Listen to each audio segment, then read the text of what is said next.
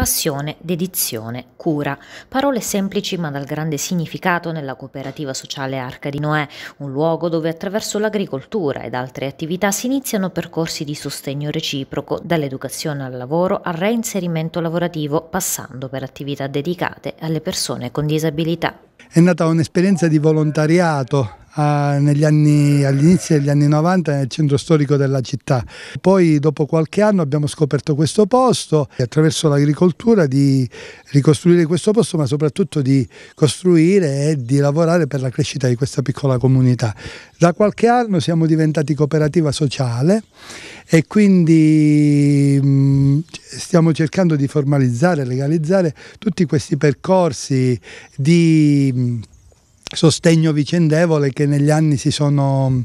si sono, venuti a creare, quindi ci sono percorsi di sostegno alle persone con disabilità,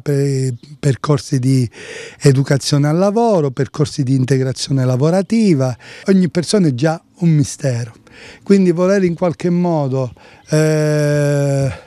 aprirsi, accogliere persone con delle fragilità particolari, bisogna avere, ecco, allenare l'elasticità di inventare dei percorsi e delle possibilità di accoglienza e di inclusione delle, delle persone più fragili. Una realtà conosciuta ed apprezzata e che necessita, come tutte le altre, anche di un sostegno da parte delle istituzioni la continuità di queste relazioni è più che legata all'istituzione in quanto tale, alle persone di buona volontà che alcune volte nelle istituzioni si trovano. E quindi più che relazioni stabili istituzionali sono,